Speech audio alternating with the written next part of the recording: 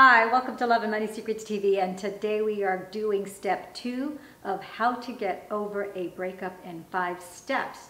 And in step two, it's all about digesting your emotions.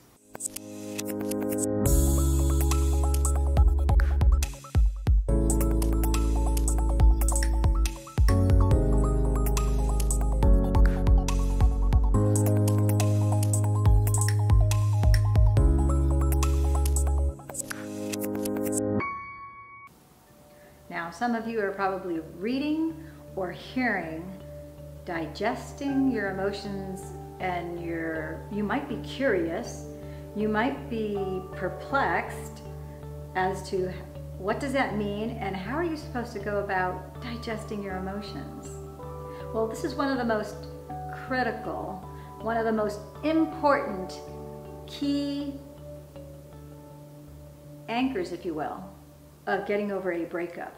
In fact, anytime you have any kind of a traumatic emotional event, it could be pretty much anything. You may have had, you know, a breakup is basically a giant argument, but you could have had a car accident, you could have had some sort of other traumatic event that happened to you that maybe affected you both physically and emotionally.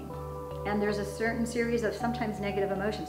You could have been in a car accident, a bike accident, there, I mean, it, there's infinite possibilities. The bottom line is that you experienced something that emotionally provoked either fear or worry. You may have been horrified, terrified. You may have had a bad, ugly gut feeling, um, but it, was, it could have been a shock to your system. So any kind of um, emotion that is in that realm that does not feel good, and clearly a breakup doesn't feel good to anybody. So it's, it's critically important that you digest your emotions. So what does it mean to digest your emotions? I'm great, I'm glad that you asked that question. So what it means to digest your emotions, that means that you are going to process inside your body the emotions that you felt when the, bro the breakup experience took place and after. Because make no mistakes, that elicited your first and second and third energy centers in your body. It evoked a fight or flight response. You had you were in a argument, you know, there were complaints that were exchanged. There was an energy of fighting and defending oneself or just being in deep sorrow and saying this is not working and the parting of a ways. It could have even been um, somewhat of a calmer uh, type of situation, but you need to digest whatever emotions you are feeling at that time. And if you don't digest those emotions, if you do not process them, they don't go away.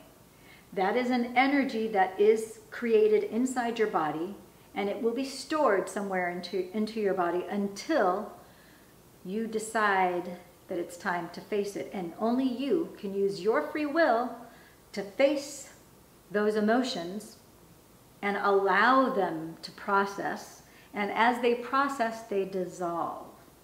Now, one of the things that I have learned as a certified integrative regression technology hypnotist and NLP um, programmer is that you, in fact, your brain is an organ that is used to store past thoughts, feelings, and emotions.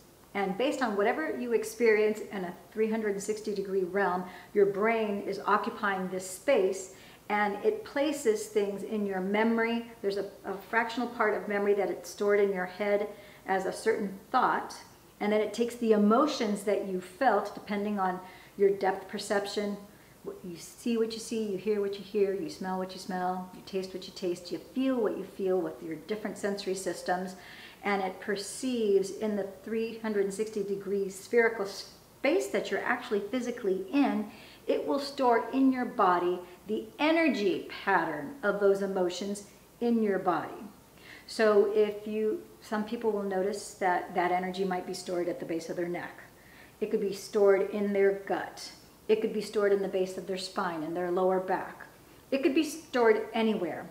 And that energy pattern will continue to be there as an unresolved emotion until you're ready to face it and process it and digest it.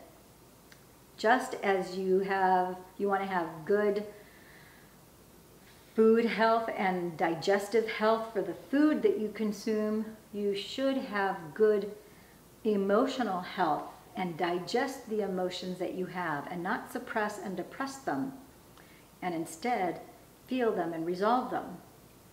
What will oftentimes happen to people is if you just deny that and you decide to, you know, denial. Denial is not just a river in Egypt. Mm -mm. Denial is something you need to address and stop denying yourself. So you need to face those emotions and allow yourself a time to resolve, to face those and let them purge, let them come out, let, let your body feel what it needs to feel so that it, the energy then shakes out.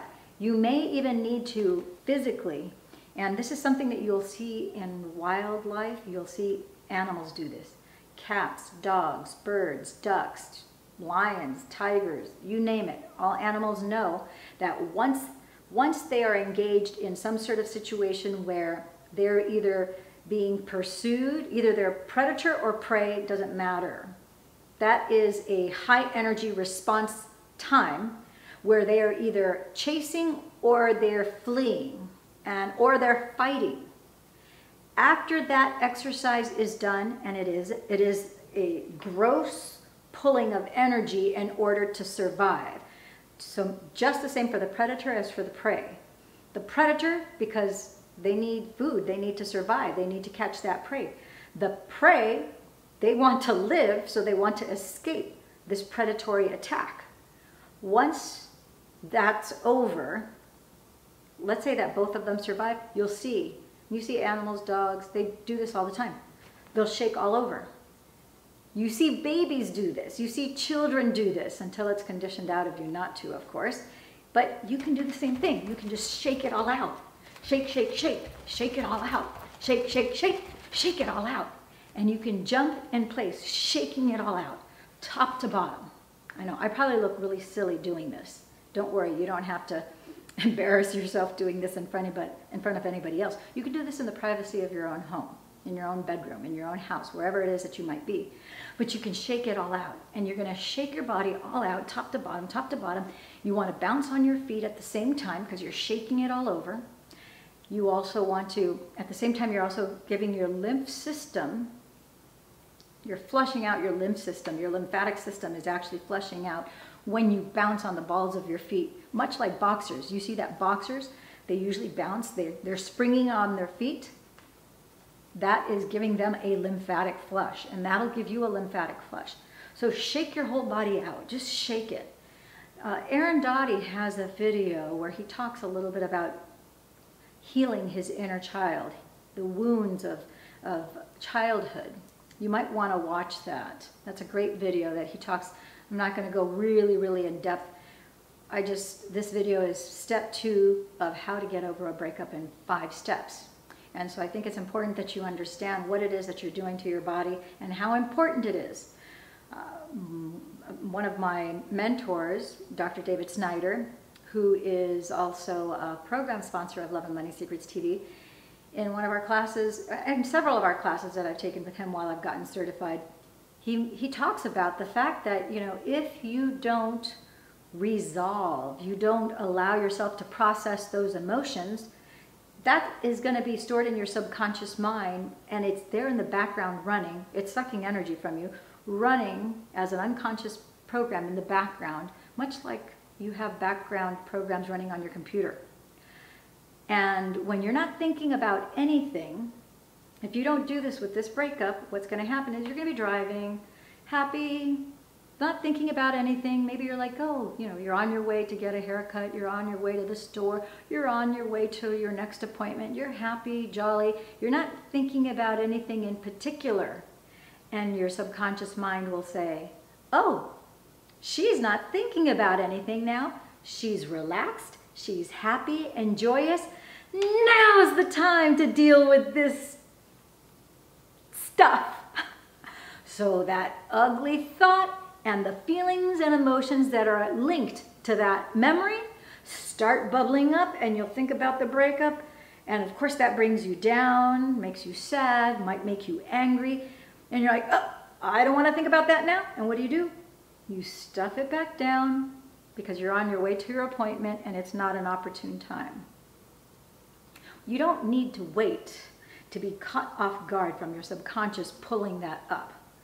It will also come up in your dream state, or some of you might consider that a nightmare.